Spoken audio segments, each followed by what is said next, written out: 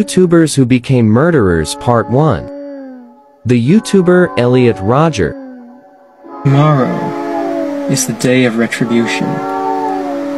The day in which I will have my revenge against humanity. Against all of you.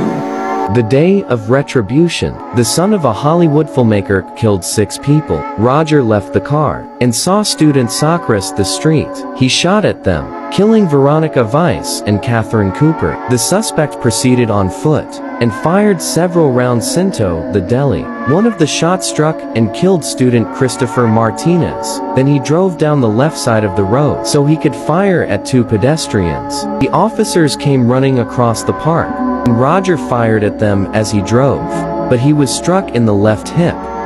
After he hit a cyclist, he crashed his car into the back of an SUV, then ended the rampage by taking his own life.